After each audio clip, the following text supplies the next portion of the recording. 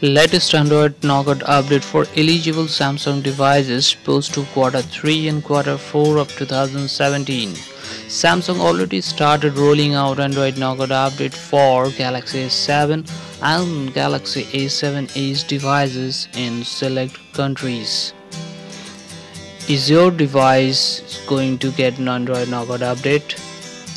Let's have a look at all those eligible devices which are going to get Android Nougat update in the first half of 2017. Samsung Galaxy S6, Samsung Galaxy S6 Edge and Plus, Samsung Galaxy Note 5, Samsung Galaxy Tab A, Samsung Galaxy Tab S2, Samsung Galaxy A3 and Samsung Galaxy A8.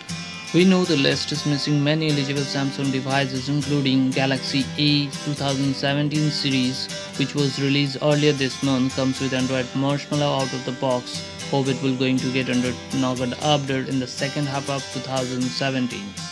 Let's have a look at all those eligible Samsung devices which are going to get Android Nougat update in the second half of 2017.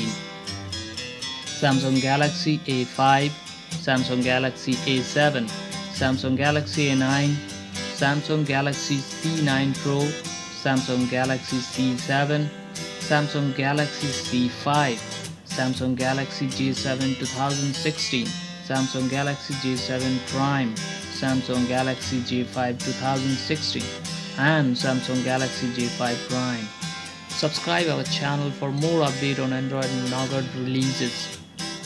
Click on the red subscribe button and never miss a video from 76543 to 10 views. Like, comment and share the video.